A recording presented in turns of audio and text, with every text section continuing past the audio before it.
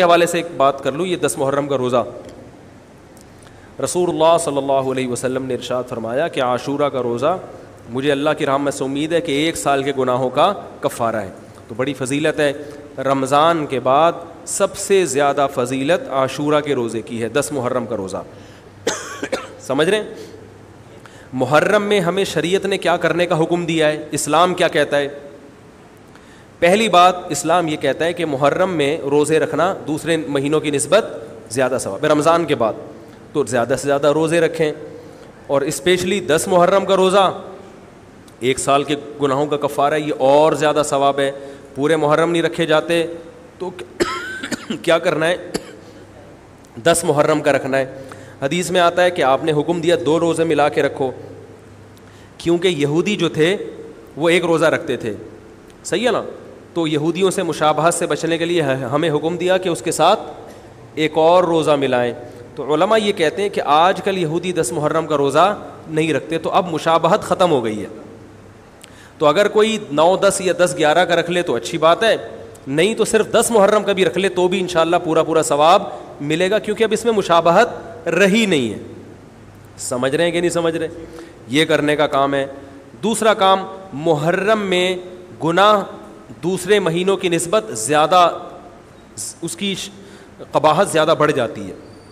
کیونکہ چار مہینے محترم ہیں۔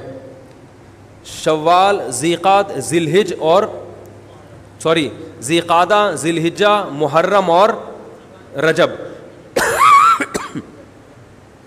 یہ چار مہینے جو ہیں اسلام میں اشہر حرم کہلاتے ہیں۔ قرآن کہہ رہے فلاں تظلم فی ہننا انفسکم، ان میں اپنی جانوں پہ ظلم مت کرو۔ یہ ماتم کرنا بھی تو ظلم ہے نا اپنی جان پہ۔ تو اللہ نے فرمایا، ان چار مہینوں میں اپنی جان پہ ظلم مت کرو۔ کسی بھی طرح سے ظلم ہو، جسمانی ظلم ہو، روحانی ظلم ہو، جسمانی ظلم ماتم کر کے بھی ہو سکتا ہے اور انگاروں پہ چل کے بھی ہو سکتا ہے، اپنے آپ کو پیٹ کے بھی ہو سکتا ہے۔ روحانی ظلم کیا ہے؟ گناہ کر کا۔ تو نہ گناہ کرنے کی اجازت، نہ کسی اور طرح سے۔ عام مہینوں میں بھی ظلم کی اجازت نہیں ہے، نہ اپنے اوپر اور نہ کسی اور پر۔ تو ان چار مہینوں میں ظلم کی نوعیت بڑھ جاتی ہے۔ سمجھ رہے ہیں؟ یہ ایک محرم کی فضیلت ہے اسلام میں۔ اور تیسری فضیلت جو محرم کی جو بعض روایات سے ثابت ہے یعنی جو فضیلت تو نہیں کہیں گے اس کو، جو محرم میں کرنے کا کام ہے، وہ بعض حدیث میں آتا ہے کہ آپ صلی اللہ علیہ وسلم نے ارشاد فرمایا کہ عاشورہ کے دن اپنے اہل و عیال پر دسترخوان کو وسعت دو۔ اس سے رس میں برکت ہوتی ہے۔ لیکن یہ جو حدیث ہے، یہ ضعیف ہے۔ صنعت کے لحاظ سے پاورفل اور مضبوط نہیں ہے۔ بعض علماء نے کہا کہ اس کثرت ترخ کی وجہ سے حسن کے درجے کو پہنچ گئی ہے۔ ہمارے ہی بعض اکابر علماء کی رائے ہے۔ علماء، جو بر صغیر کے علماء، بڑے بڑے علماء ہیں، میں نام نہیں ذکر کرتا، لیکن بہت بڑی اپر لیول کے علماء ہیں۔ ان کی رائے یہ ہے کہ یہ ضعیف، اس اتنی ضعیف نہیں ہے کہ بالکل ہی مسترد کر دی جائے۔ ٹھیک ہے نا؟ اور تعدد ترک کی وجہ سے درجہ حسن کو پہنچ گئی ہے۔ علامہ ابن تیمیہ رحمہ اللہ تعالیٰ، جن کو سعودی عرب میں بہت فالو کیا جاتا ہے، ان کی رائے اور سلفی علماء کی رائے، جو سعودی عرب کے العسیمین بن باز وغیرہ تھے، ان کی رائے یہ کہ یہ حدیث بالکل صحیح نہیں ہے۔ اور اس کی کوئی حیثیت نہیں ہے کہ دسترخوان کو وسیع کیا جائے اور عاشورہ کے دن کھانا کھلایا جائے۔ سمجھ رہے کہ نہیں سمجھ رہے؟ لیکن جو دوسری طرف معتدل علماء، معتدل سے مراد، میں ان کو برا نہیں کہہ رہا، لیکن وہ انہوں نے حدیث کی جو اب اگر آپ صنعتوں کی تحقیق کریں گے تو اس کو بالکل من گھڑت قرار دینا درست نہیں ہے۔ اگر صنعتوں کی تحقیق کریں گے تو ایسا معلوم ہوتا ہے کہ علامہ بن تیمیہ رحمہ اللہ تعالیٰ، جو ہمارے لیے قابل احترام ہے، انہوں نے اس حدیث کو رد کرنے میں تھوڑا مبالغہ سے کام لیا غلوف کیا ہے۔ ایسا نہیں ہے کہ بالکل ہی اس کی کوئی ویلیو نہیں ہے۔ تو ضعیف روایتیں ہیں، لیکن کثرت ترک کی وجہ سے درجہ حسن کو پہنچ گئی ہیں سمجھ رہے کہ نہیں سمجھ رہے اس وجہ سے بعض علماء کی رائے، بلکہ اکثر، بلکہ جمہور کی رائے یہی ہے کہ محرم میں اگر کوئی اپنے بچوں کو جمع کر کے اچھا کھانا کھلا دیتا ہے دس محرم کو، اور یہ حلیم شاید یہیں سے نکلا ہے۔ میں شاید یہیں سے نکلا ہے کہ یوں یوں تو وہ اچھا کھانا ہو جائے گا۔ تو وہ کہتے ہیں کوئی حرج نہیں ہے۔ لیکن ایک بات جو دوسرے علماء کہتے ہیں جو میری بھی سمجھ میں آتا ہے، بلکہ میں نے پہلے کہیں پڑھا تو نہیں، مجھے، میرا دماغ اس طرف گیا، لیکن اس کی تائید میں علماء کے فتح مل گئے۔ دیکھو اگر کوئی حدیث ضعیف ہو یا حسن ہو، تو صرف حسن ہونا کافی نہیں ہے۔ یہ دیکھا جائے گا کہ یہ دوسری صحیح حدیثوں سے ٹکرا تو نہیں رہی ہے۔ یہ بھی ایک فقہ کا اصول ہے کہ اگر ایک کمزور چیز ہے، لیکن وہ طاقتور دلیل سے ٹکرا رہی ہے، تو پھر اس کمزور چیز کو بالکل رد کیا جائے گا۔ تو عاشورہ کے دن روزہ رکھنے کا حکم ہے۔ یہ بالکل بخاری مسلم کی صحیح حدیث سے ثابت ہے۔ اور جو کھانا کھلانے والی روایت ہے، وہ اس ٹکر کی نہیں، اس کو تو ابن تیمیہ جیسے محقق نے بالکل ہی قلعم قرار دے دیا۔ بعض عرب علماء نے بھی بالکل قلعم قرار دے دیا۔ اگرچہ ہماری رائے ہے کہ بالکل قلعم نہیں ہے، لیکن بہرحال اس میں محدثین کا بڑا اختلاف ہوا ہے۔ جبکہ روزہ رکھنے والی جو روایات ہیں، وہ بالکل بے غبار ہیں، ان کو سب صحیح مانتے ہیں۔ تو کھانا کھلانا اور روزہ جمع بولو بھائی نہیں ہو سکتا۔ اس لیے کہ اگر وہ روزے کا دن ہے تو کھانے کا دن نہیں ہے۔ کھانے کا دن ہے تو روزے کا نہیں۔ ابن تیمیہ رحمہ اللہ تعالیٰ کی رائے یہ ہے کہ بعض لوگوں نے شیعہ کی مخالفت میں غلو کیا ہے۔ شیعہ نے اس دن کو چونکہ منحوس بنا دیا دس محرم کو، تو انہوں نے مخالفت میں اس دن کو ایک سیلیبریٹ کرنے کے لیے نا کھانا کھلانے کا حکم دے دیا کہ ہم منوس نہیں سمجھتے بلکہ اس کا کیا کریں گے؟ اپوزٹ کے کھاؤ اور کھلاؤ۔ تو انہوں نے کہا یہ بھی غلو ہوا ہے دوسری طرف۔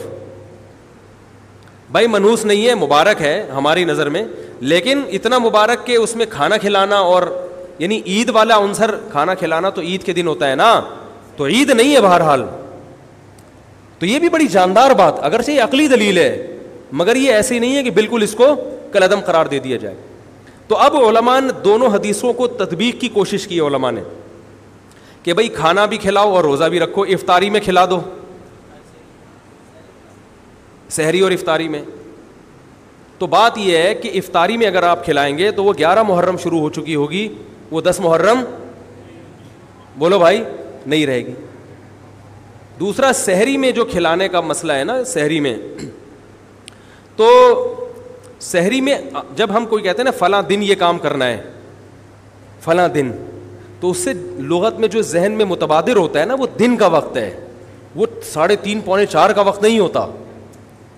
یہی وجہ ہے کہ جو لوگ اس حدیث پر عمل کرتے ہیں، عاشورہ والی، وہ دن میں کھانا کھلاتے ہیں، دوپہر کے ٹائم لنچ کرتے ہیں۔ وہ افطاری میں تو ویسے ہی دسترخوان وسیع ہوتا ہے بھوک کی وجہ سے۔ ارے بابا، وہ تو ویسے ہی بچوں کو جب روزہ رکھا ہوا ہے، تو اچھا کھلاؤ سحری اچھی کراؤ اور افطاری، وہ تو ویسے ہی بھوک کی وجہ سے رمضان میں دیکھو نا کیسے کھلے دسترخوان ہوتے ہیں۔ تو میں نے بڑی کوشش کی دونوں حدیثوں کو جمع کریں، لیکن تکلف کے بغیر یہ ممکن نہیں ہے۔ تو فقہ کا ایک اصول ہے کہ جب کوئی بے غبار صحیح حدیث ہوتی ہے اور اس سے ایک اصول ثابت ہو رہا ہے، تو اس کے مقابلے میں اگر کمزور روایت آئے گی جو اس سے ٹکرا رہی ہوگی، تو اس کمزور روایت کو اگرچہ وہ موضوع من گھڑت نہیں ہے، لیکن اس کمزور کو اس صحیح حدیث کی مخالفت کی وجہ سے بولو بھائی، رد کر دیا جائے۔ اس لیے میرا نالائق کا موقف یہ ہے، میں بہت نالائق ہوں میں اتنی بڑی بڑی باتیں کرتا نہیں ہوں، لیکن ساڑی عقلچ یہ چیز آندھی نہیں ہے کہ بھائی جو روزے کا دن ہے وہ بھوکے پیاسے رہنے کا دن ہے، وہ کھانے کھلانے کا نہیں ہے۔ افطاری میں تو ویسے ہی کھاؤ بھی، کھلاؤ بھی۔ تو اور اس کا نقصان یہ بھی ہوتا ہے کہ لوگوں نے اس کھانا کھلانے کے چکر میں روزے چھوڑ دیے ہیں۔ سمجھ رہے ہیں؟ جب حلیم پکے گا تو کون روزہ رکھے گا بھائی؟ ساری رات گھوٹا لگے گا حلیم کا کہ کل دسترخوان وسیع کرنا ہے۔ تو پھر روزہ گیا وہ تو تیل لینے گیا روزہ، کون رکھے گا روزہ؟ تو وہ حدیث، صحیح حدیث کی بالکل اس میں ٹائٹ قسم کی مخالفت ہو رہی ہے، ٹھیک ہے نا؟ تو نالائق کرائے پھر بھی اگر کوئی دوسرے علماء کی رائے کو فالو کرتا ہے تو وہ کھائے بھی، کھلائے بھی۔ میں کہتا ہوں جو مضبوط چیز ہے اس کو لینا چاہیے، جو کمزور چیز ہے اس کو چھوڑ دینا چاہیے۔ ہمارے حضرت مفتی رشید احمد صاحب رحمہ اللہ ایک بات کہتے تھے کہ جہاں کھانا کھلانے کی حدیث آئے گی نا، وہاں مسلمان اس کو لے ہی لے گا۔ کھانے پینے کی جہاں بات آئے گی، مسلمان کیا کرتا ہے؟ وہ کہتا ہے بھائی یہ صحیح ہے، یہ بالکل صحیح حدیث ہے. ٹھیک ہے نا؟ وہ کیا کرتا ہے؟ جن علماء کی تحقیق ہے، وہ تو تحقیق سے کہہ رہے ہیں، لیکن عام پبلک کی عادت یہ ہوتی ہے کہ فتویٰ بھی اسی کا فالو کریں گے جہاں کھلانے کا تذکرہ آ رہا ہو۔ تو اب ہمارے کہتے جہاں کھانا کھلانے کی بات آئی، مسلمان کہتا ہے، بس یہ بالکل صحیح بخاری کی طرز پر ہی بخاری کی شرط پر یہ حدیث تو بھائی، بھوکا رہنا عبادت ہے۔ بھوکا رہنا سنت ہے۔ بچوں کو تو ویسے ہی کھلاؤ، عاشورہ ہو یا نہیں ہو، اور سحری افطاری کرا دو، اچھی سی روزہ رکھواؤ، اور جو بالکل چھوٹے بچے ہیں، وہ تو ویسے ہی کھاتے ہیں تو اس لیے، اور پھر اس کا نقصان کیا ہو رہا ہے؟ حلیم کے گھوٹے لگ رہے ہیں، پوری پوری رات بیٹھ کے۔ اس کے الگ نقصانات ہیں، سبیلیں لگ رہی ہیں۔ حضرت حسین رضی اللہ تعالیٰ عنہ تو کربلا میں شدید گرمی میں بھوکے اور پیاسے اپنی جان دیتے ہیں، اور یہاں ہم کیا کر رہے ہیں؟ کھانا کھا رہے ہیں دیگیں پکا رہے ہیں۔ شربت پی رہے ہیں، تو یہ بات عقل میں آنے والی نہیں ہے۔ تو عاشورہ کے دن کی مناسبت سے روزہ ہی ہے، وہ روزہ رکھنے کا دن ہے۔ اللہ تعالیٰ عمل کی توفیق عطا فرمائے۔ وما